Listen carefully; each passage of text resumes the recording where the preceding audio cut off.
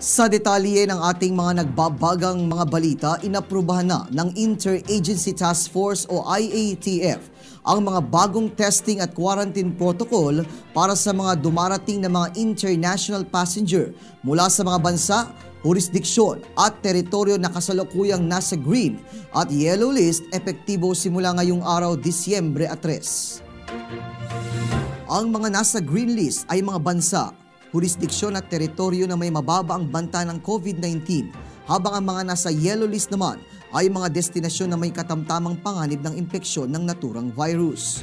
Ayon kay Cabinet Secretary at Acting Presidential Spokesperson Carlo Nograles, ang lahat ng mga fully vaccinated na uuwi ng Pilipinas ay kinakailangan magkaroon ng negatibong RT-PCR test na isasagawa sa loob ng 72 oras bago umalis sa bansang pinanggalingan. Anya, pagdating sa Pilipinas, sasailalim sila sa facility-based quarantine na may RT-PCR test na kinuha sa ikalimang araw.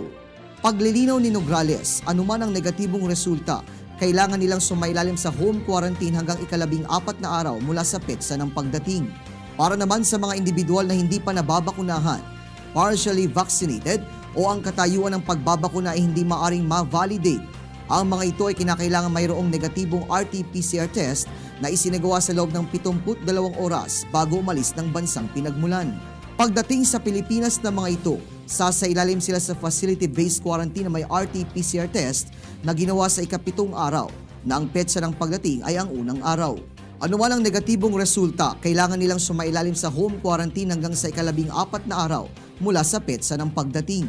Sinabi ng mga otoridad na dapat tiyakin ng Department of Transportation na mga airline company ay magpapasakay lamang sa mga paserong sumusunod sa negatibong RT-PCR test before travel requirement.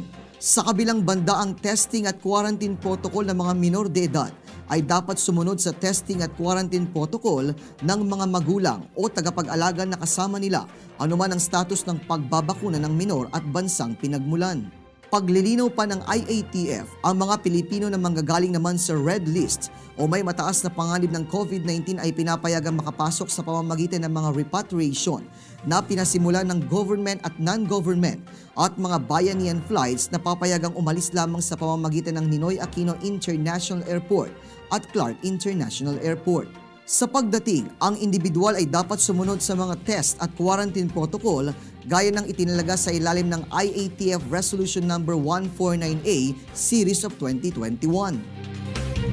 Sa ngayon, ang Malaysia ay nananatili pa rin sa yellow list hanggang sa magbigay muli ng bagong klasifikasyon ang IATF.